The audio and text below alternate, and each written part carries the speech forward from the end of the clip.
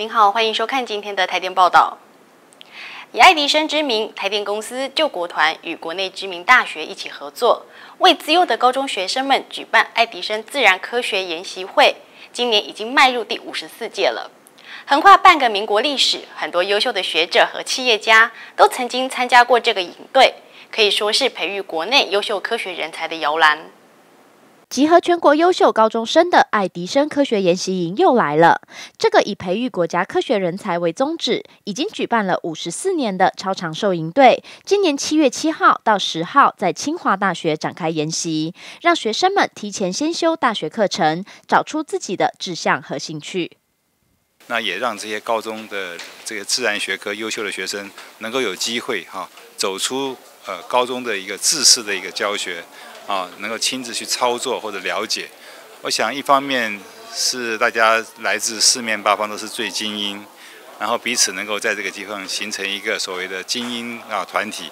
那二方面也是希望说能够有这机会像先修一样的到大学课程。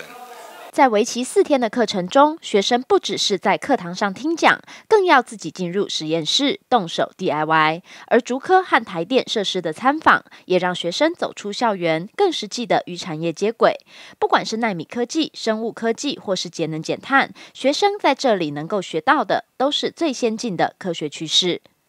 我想，呃，应该不只是启蒙，我想应该是一个震震撼哈。你现在在这样的一个。复杂的社会里面，你不是单纯的去看书，或者是单纯的坐在